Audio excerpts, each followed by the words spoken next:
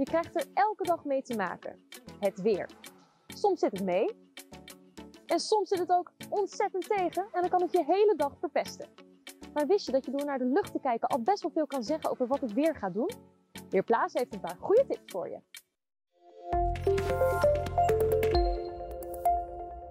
Zo kun je bijvoorbeeld kijken naar vliegtuigstrepen.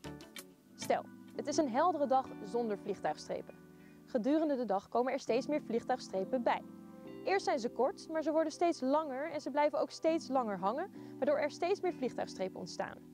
Dit betekent dat de lucht in de hogere luchtlagen steeds vochtiger wordt. En dat kan een voorbode zijn van een naderende storing die uren later voor regen kan zorgen.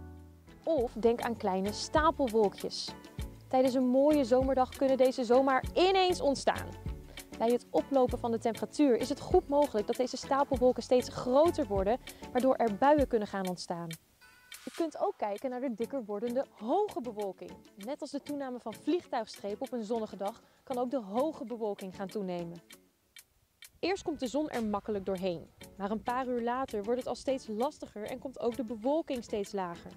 Vaak duidt dit op de nadering van een warmtefront met als gevolg dat over een paar uur regen gaat vallen. Verder kun je letten op wolkenveren. Op een zonnige dag zie je soms hoog in de lucht dunne wolkenveren. Deze wolken worden meegevoerd in de hogere luchtlagen en zijn vaak een voorbode van een weerverslechtering over 18 tot 24 uur. Vooral wanneer deze windveren uit het westen komen. Soms zijn er op een mooie dag al vroeg torenwolkjes te zien. Dit zijn stapelwolkjes die vrij hoog in de lucht zweven en eigenlijk een soort torentjes hebben. Ze duiden op instabiliteit en worden ook wel onweerverklikkers genoemd, want als je ze voorbij ziet komen is er een kans dat het smiddags flink gaat onweren.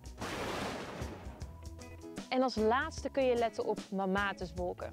Zie je bij een buienwolk ook mamatuswolken voorbij komen, dan is de kans groot dat er bij die bui ook wat hagel gaat vallen. Hopelijk heb je er iets aan en heel veel succes bij je eigen weersverwachting.